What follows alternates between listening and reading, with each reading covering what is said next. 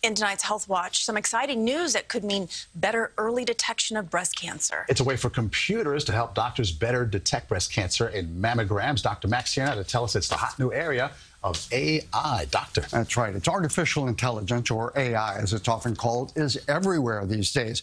It's what's making driverless cars, smart vacuum cleaners, and iPhone assistants possible.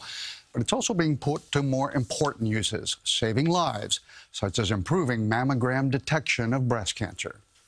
And they didn't tell me that there were any implications of dense breasts. I didn't know that there actually are cancers that cannot be seen by mammography. These women are telling their stories to a nonprofit organization called Dense Breasts Canada. Their mammograms missed their cancers because they had dense breasts, which is where mammograms are not as good at seeing cancers. Still, cancer experts tell us this about mammograms.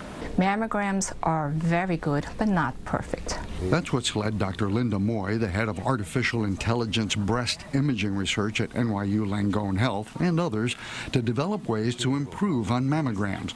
AI is particularly well suited to doing that because human breast cancer experts can show computers what breast cancer looks like on mammograms and then feed it millions of mammograms so that the AI machine begins to get better and better at finding breast cancers.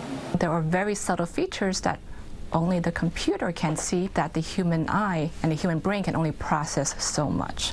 That, in fact, has been verified in a new study in the journal Nature that used an AI system developed by Google that performs somewhat better than radiologists at finding breast cancers and also at reducing the number of false positives that humans found in mammograms.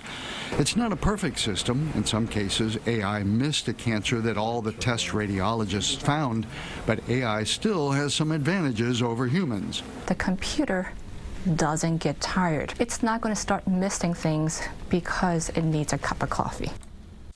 That's exactly true. Now, AI is better at finding cancers in dense breasts, like the women at the top of our story. But for now, Dr. Moy says that the best results will come from combining the expertise of human radiologists with the tireless, sharp eyes of computers to find those early and curable breast mm. cancers. Computers don't need a cup of coffee. No, and they never blink either.